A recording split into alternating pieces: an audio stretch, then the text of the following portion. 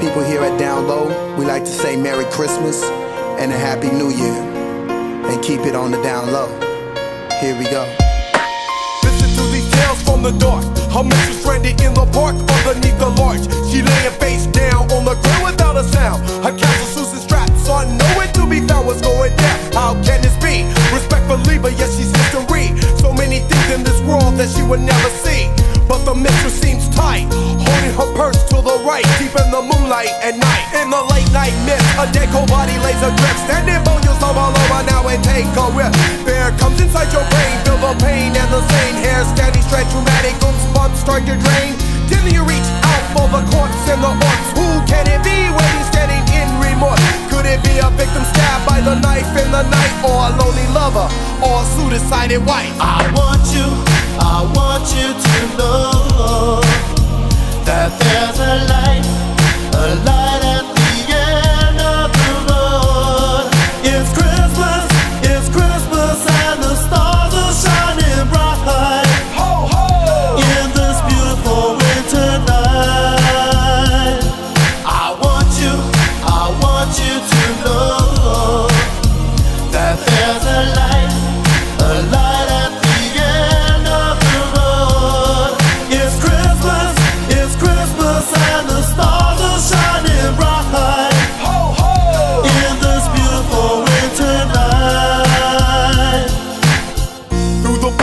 a masked man.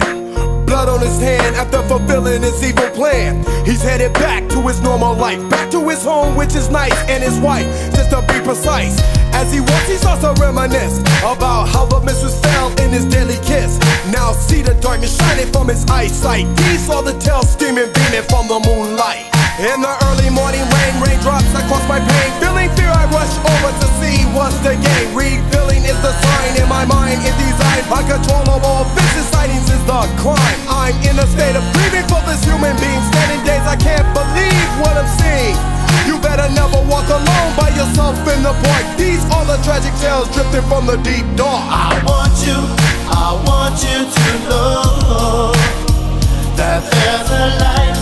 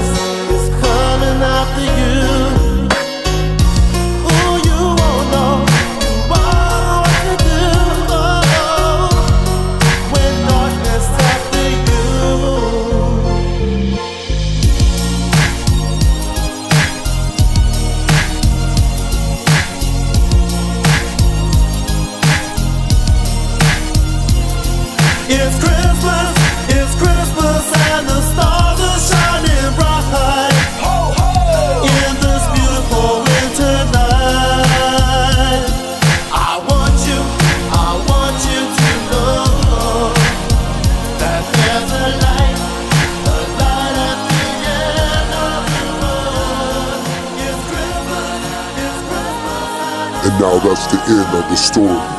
Beware when you walk into the shadows of the night, deep inside of the moonlight.